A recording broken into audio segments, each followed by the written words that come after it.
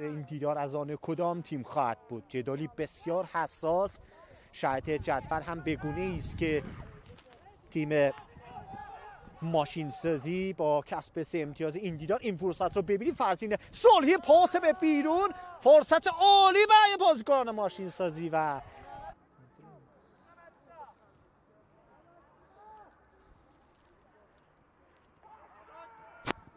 فرصت عالی ماشین سازان گل! فرزین صلحی گل دوم بازی و ماشین سازی رو به ثمر میرسونه. کار سخت میشه. بلند. در زمین آرکا. یه لحظه تاثیر گذاشت بازی کنه. ماشین سازی میانهای میدان.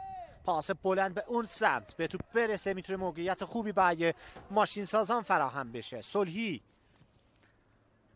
رد میشه از یار مستقیم خودش و یه کرنر رو و پاس بلند صلحی در موقعیت تک به تک با دروازه بان و گلی دیگر برای